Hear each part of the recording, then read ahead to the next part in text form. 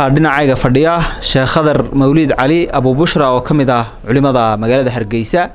Maalintii shalay ahayd sida uu ku qoray barihiisa bulshada sheekhu waxaa lagu xidhay magaalada hargeysa. Inkastoo markii dambe la soo daayey bal xadhigga sheekhu wuxuu daaranaa ayaynu maanta wax ka weydiin doonaa. Soo dhawo sheekh. Shalayto laygu yar xidhay.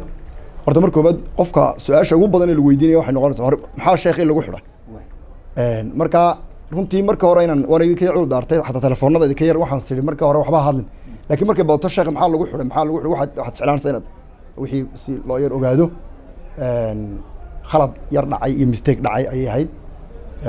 Khaladkana looma sinne ee waxaa sameeyey nin yaroo ku yarre wax qora ah oo biga jooga. Laba nin baa isku dhacay inagu ilmaada rumanay iyo nin kale family guud aanunay.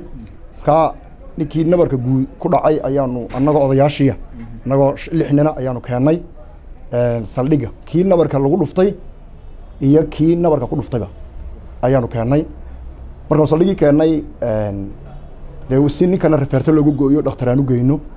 Ninka nabarka ku dhacay markaa walaalkii baa nala socda. Markii saldhiggii aanu nimi aanu qornay ninkii nabarka geystayna waanu wadnaa. Kii nabarku ku dhacayna isagana de waanu nala socday. Ayaa waxaa dhacday yarkaa oobigu inuu nagu qoray dhammaantayo inuu markaa waxa weya waa wada xidhantii.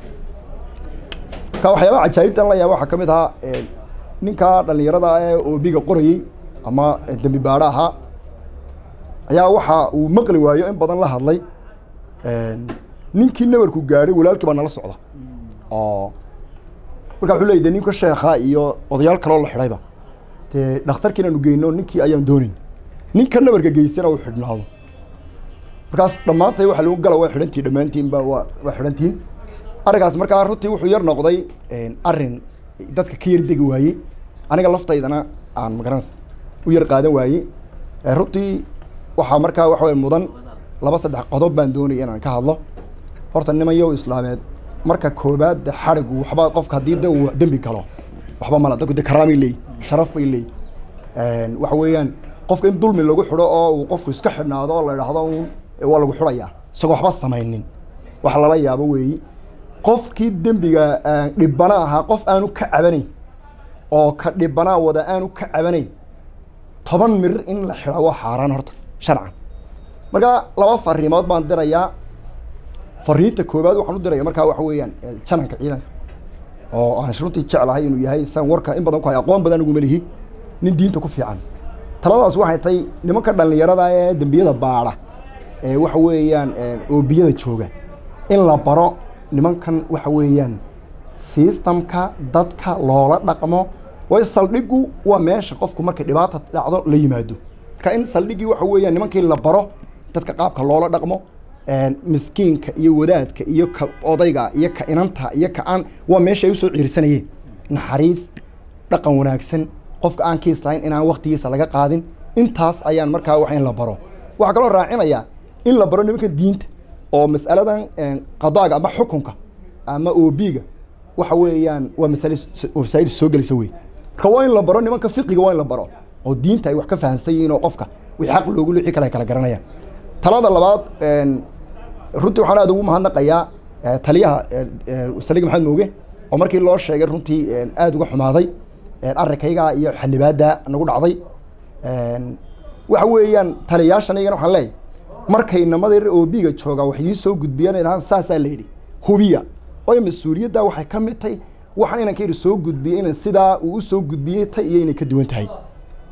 Markaa kiis qaldan ba ayaa taliyaa loo sheegay waxa lagu yidhi nimanku way kala bixi waayeenoo markaa taliyan wuxuu dhammaantood wada xareeya kelmaddaasina may jiro ninkii nabarka geystaa qiraal buu haaba marka arrimaha caynkaasoo kale ah in iyaguna iska hubiyaan intaas may runtii ahayd wax dhiboo kale ma jiro. Imankan markii waan iska soo baxay markii casarkii dee la ogaaday inuu aan iska fadfadhinayno marka dee hawlihaygii iyo dantaydii iyo markaa dee su'aashii ugu badnay war sheekhi maxaa lagu xidhay marka waxaan kaloon idin raacin lahaa aniga arrinkaygu say de bahashu waa yar dhinacyo badan tahay.